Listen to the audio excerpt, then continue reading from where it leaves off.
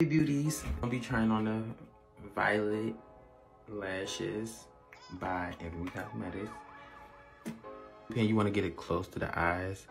And this worked very good. It's no mess, it's easy, and it holds your lashes.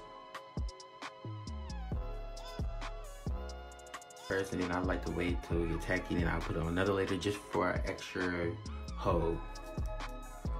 After that, then we're gonna put them on. This how she look up close and personal. You see, look, ooh, look at the glitter.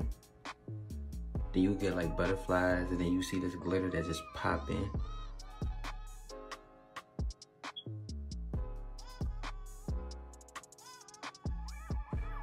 And this how it looks with the one eye. Very purple. And then this is how it looks on.